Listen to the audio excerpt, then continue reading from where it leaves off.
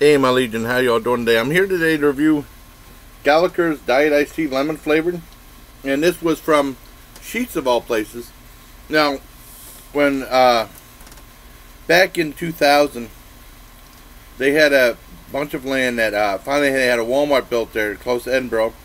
And then that branched out. There was like a Walmart and a bunch of other stores real no close to it. And then they had a Country Fair and they had a Wendy's right next to it and then they built onto that. They made a bank, and then across the street they made a bunch of hotels, and they put in the Sheetz.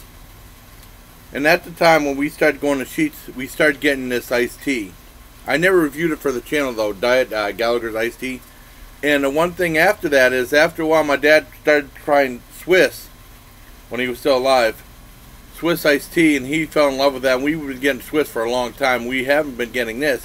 Hi, Maggie. Oh, Maggie. Let's see Maggie. Quick, Maggie. Well, Maggie, I love you. Let's go ahead and try this out. This was two seventy nine for a gallon.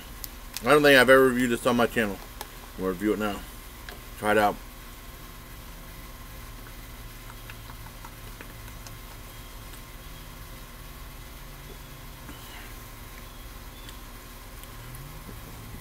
Very good. And this is made from, uh, oh wow, this is from the Gal Gallican, uh, Galliker Dairy out of Johnsonville, PA. I didn't know that. Or Johnstown, PA. Uh, I mean, it's hard to see out here because it's so bright when I'm wearing my shades. This is fantastic.